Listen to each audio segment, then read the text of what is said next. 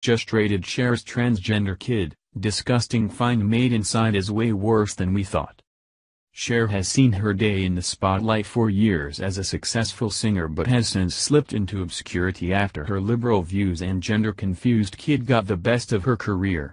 Having been so outspoken about our current administration just backfired on her, when her daughter, now her son, just got raided by ICE who made a discovery that's going to have a nasty ripple effect throughout all of Hollywood. Cher's oldest child, Chaz Bono, who was born a female named Chastity Bono, apparently had far more hiding in the closet than just his, her gender identity issues. The singer's spawn is now making demands she's not entitled to as President Trump is in charge and doesn't care about what she thinks she needs when she's actively breaking the law and her mother's status can't get her out of this one.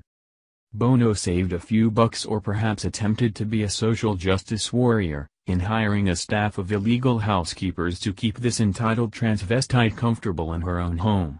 When the Immigration and Customs Enforcement, ICE, showed up to deport the illegal help to the housekeeper, Bono pitched her royal fit in the only way celebrities and their kids know how to do, on Twitter, as this Pack Review reported.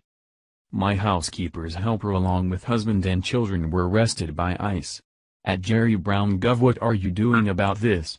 Chaz had the audacity to ask on the social media site. She's completely clueless of the cause and is making demands for her housekeeper's hired help, which means her housekeeper was paid in such substantial amount that the, help was able to afford hiring their own help.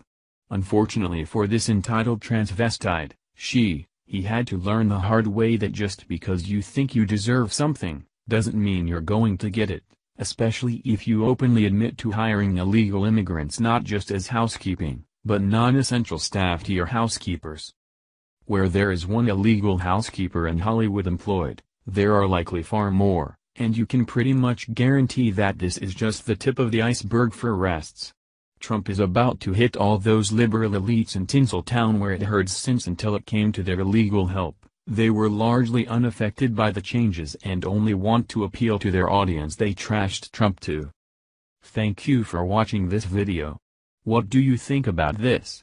Share this on Facebook and Twitter along with your comments.